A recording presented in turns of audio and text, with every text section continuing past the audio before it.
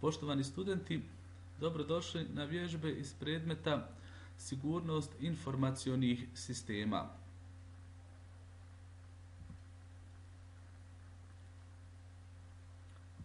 Kriptografija ili kriptologija je moderna naučna disciplina bazirana na primijenjenoj matematici. Ona proučava i razrađuje sigurnu komunikaciju, a upotreba kriptografije u bankarskoj industriji, dakle to su bankomati, internet, bankarstvo, zatim računarskoj sigurnosti, sigurnost i privatnost na internetu.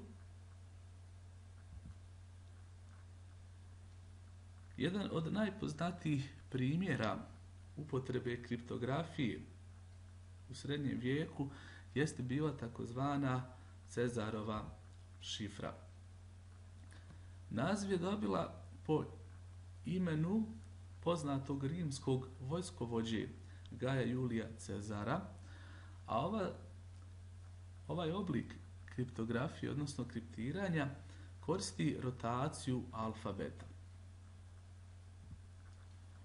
Izvorno je rotacija bila za 13 znakova ili karaktera, tako da je slovo A šifrirano u 13. slovo latinske abecede, dakle u slovo N, zatim slovo B izvorno je šifrirano u slovo O i tako redom. Ovaj algoritam je i poznat još pod nazivom ROT13, a na istom principu temelje se i svi ostali ROT-N algoritmi, gdje u stvari N predstavlja broj za koji se vrši rotacija alfabeta.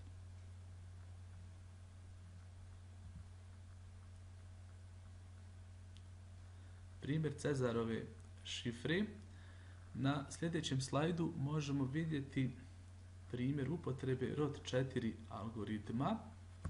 Broj 4 nama govori da se vrši rotacija četiri karaktera, odnosno četiri slova, tako da Slovo A se šifrira slovom D, slovo B se šifrira sa slovom E, slovo C se šifrira sa slovom F, slovo D se šifrira sa slovom G, slovo E se šifrira sa slovom H, slovo F se šifrira sa slovom I, onda imamo da se slovo X šifrira sa slovom A, slovo Y se šifrira sa slovom B, slovo Z se šifrira sa slovom C.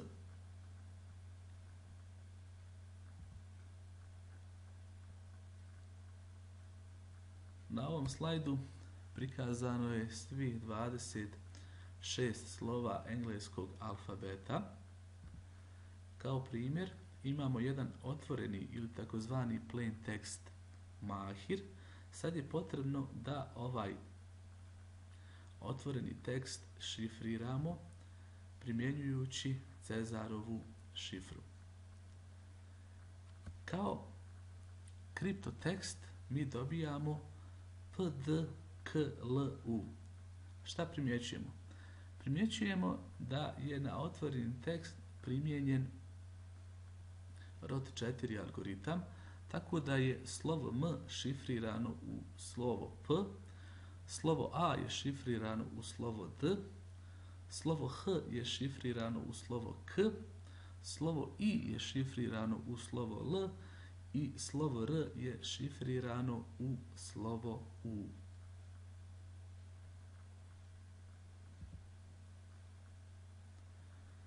Simetrična kriptografija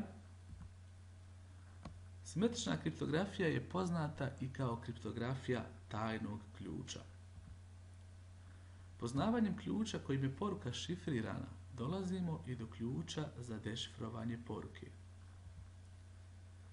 Najpoznatiji simetrični kriptografski algoritmi su Data Encryption Standard ili DES, dužina je 64 bita, i Advanced Encryption Standard ili S dužina je 256 bita. Ono što je karakteristično za simetričnu kriptografiju jeste da koristimo ili koristi se jedan isti ključ i za kriptovanje i za dekriptovanje. Tako da ukoliko neki neovlašteni korisnik uspije doći u posjed ključa kojim je izvršeno kriptovanje, on će moći izvršiti i dekriptovanje naše šifrirane poruke.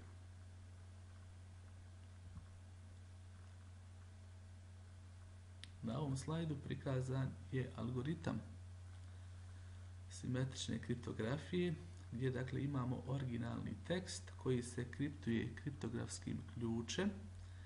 Već smo rekli da simetrična kriptografija za kriptovanje i za dekriptovanje koristi isti kriptografski ključ, dakle imamo kriptirani tekst, tako da pošiljalac kriptovani ili kriptirani tekst šalje primaocu, e, primaoc koristi isti kriptografski ključ da dekriptuje originalni tekst tako da može da pročita sadržaj određene poruke.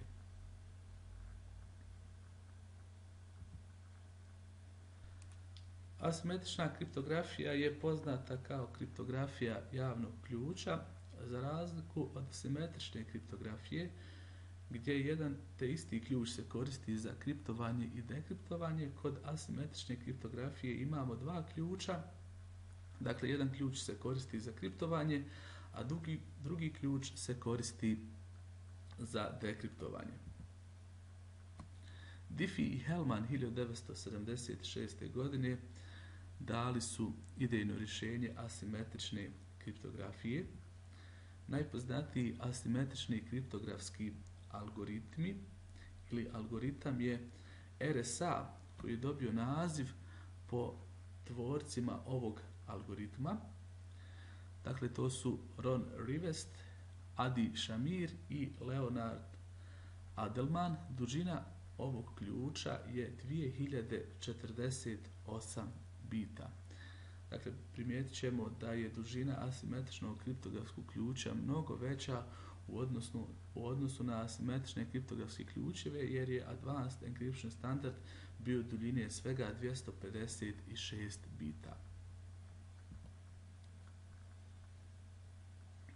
Na ovom slajdu prikazano je funkcionisanje asimetrične kriptografije, odnosno primjer kriptovanja određene poruke. Imamo originalni tekst, takozvani plain text, koji se kriptuje javnim kriptografskim ključem. Dakle, javni kriptografski ključ je dostupan svima.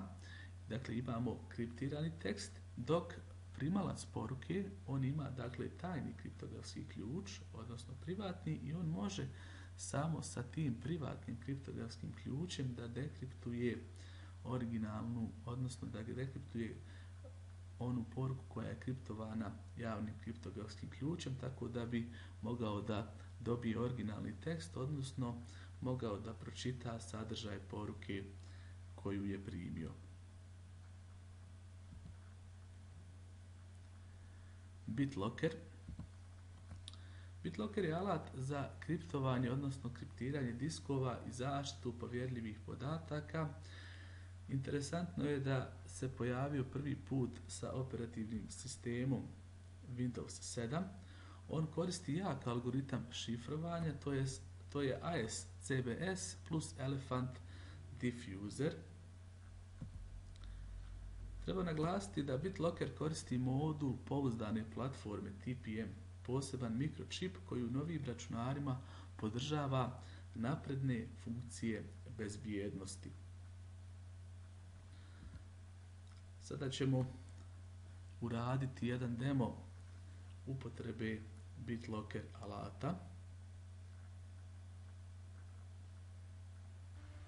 Za demonstraciju uradit ćemo prikaz korištenja opcije BitLocker koja je prvi put pojavila se sa operativnim sistemom Windows 7. BitLocker koristi simetričnu enkripciju, odnosno simetričnu kriptografiju, algoritam AS256 bitnu enkripciju. Kriptovat ćemo jedan e, USB stick, dakle ovaj stick kapaciteta 7,26 e, GB. Prvo što je potrebno uraditi jeste da pokrenemo Control Panel i kliknemo na BitLocker Drive Encryption. Zatim je potrebno da pronađemo onaj disk koji želimo da zaštitimo sa BitLocker enkripcijom. To je ovaj naš disk F. Jednostavno samo kliknemo Turn on BitLocker.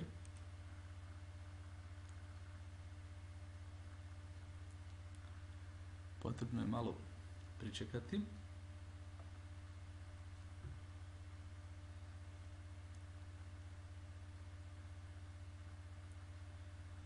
Prvo što je potrebno uraditi jeste da unesemo password za zaključavanje.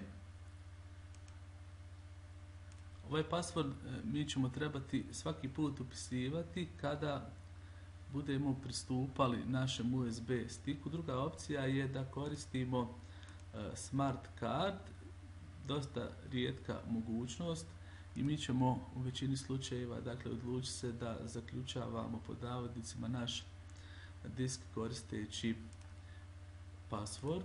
Upisat ćemo password brojeve od 1 do 6.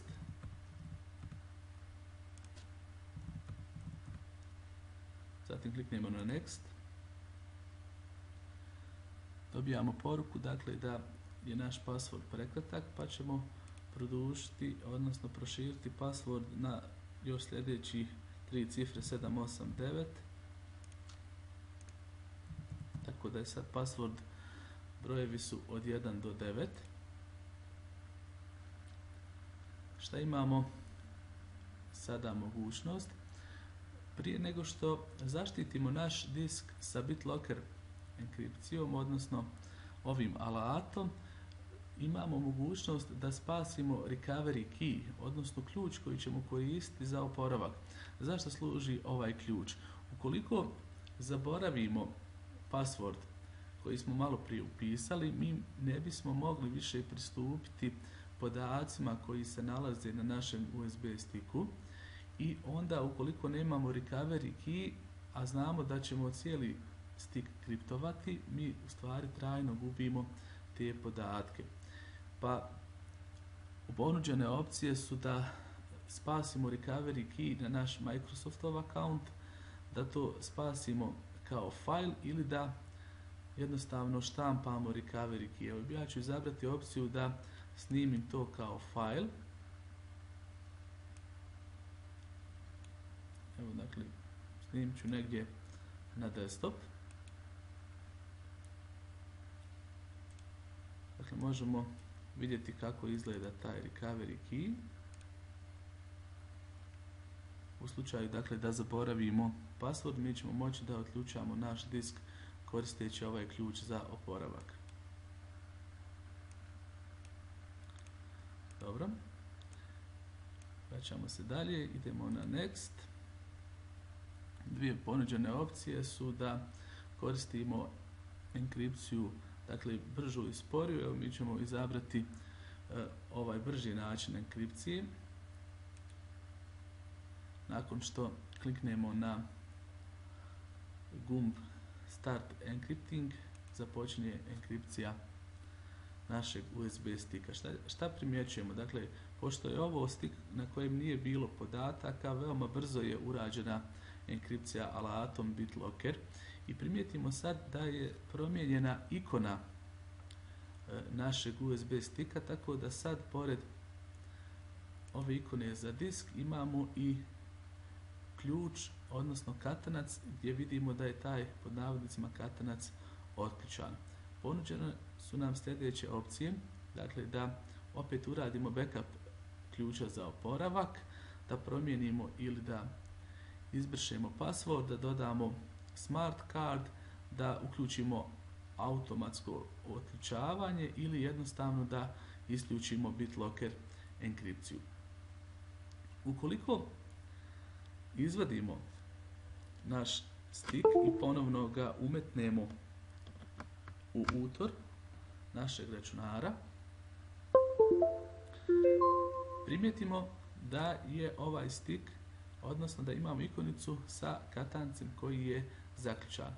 Imamo opciju Unlock Drive ili ukoliko otvorimo odnosno ukoliko otvorimo koristeći Windows Explorer naš USB stick, dakle ukoliko kliknemo na tu ikonicu, primijetite dakle da je potrebno da upišemo password. Ja ću sad namjerno da pogriješim password. Kad kliknem unlock, primijetite dakle da sam dobio poruku da mi je nekorektan, odnosno da mi je pogrešan password. Upisujem sad ispravan password, to su brojevi od 1 do 9 i kad kliknem unlock, ova ikonica od katanca je sada otključana i ja mogu pristupati podacima koji su smješteni na ovom stiku. Također ja mogu da pohranim određene fajlove na ovaj stik. Isto tako mogu onaj, da te fajlove ponovno vraćam na, na svoj računar. Bitno je napomenuti da ukoliko ja ponovno sad izvadim ovaj stik iz utvora računara, da ću morati opet da upišem password. Evo to ću pokušati još jednom da uradim.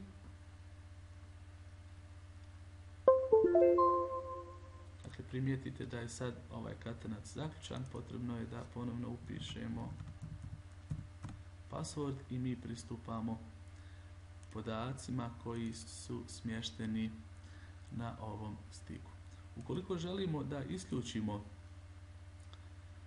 ili evo prvo ćemo uraditi demonstraciju promjene passworda, dakle jednostavno kliknemo na change password i upisat ćemo sada brojeve od 9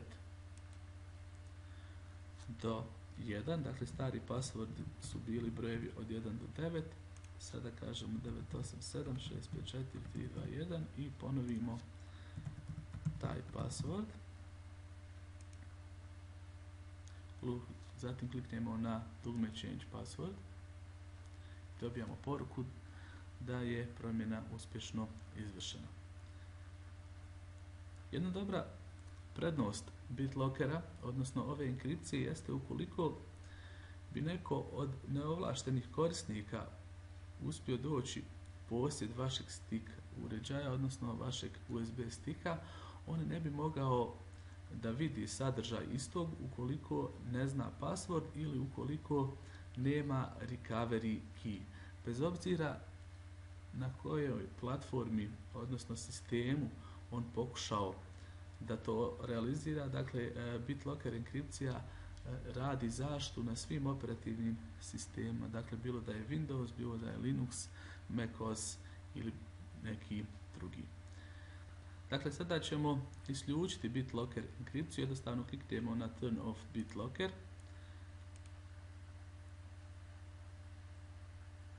Pričekamo da sistem uradi dekripciju USB stika, već primijetimo da ikona koja predstavlja USB stick više nema katanca.